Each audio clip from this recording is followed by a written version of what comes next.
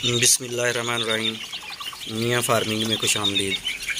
जी तो नाजरीन, ये देखें, माशाल्लाह आयाम सिमानी के चिक्स ये तकरीबन सात आठ दिन के पीस हैं जी।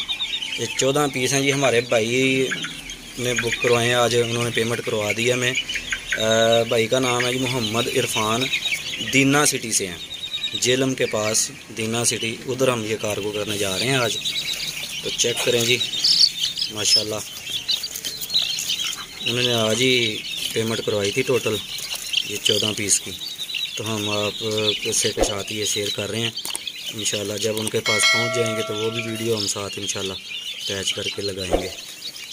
तो जिस भी भाई को जी, किसी भी जगह पे चिक्स चाहिए हो अयाम समानी के, ये ग्रेट आंक के जी अयाम समानी है। और माशाल्लाह बड़ी ही बेहतरीन क्वालिटी है।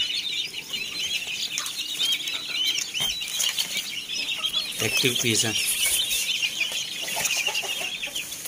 आप देख सकते हैं। दुआ करें जी, अल्लाह ताला उनके कारोबार में बरकत डाले अरफान भाई के। तो कार्गो करने जा रहे हैं। उनके लिए दुआ कीजिएगा।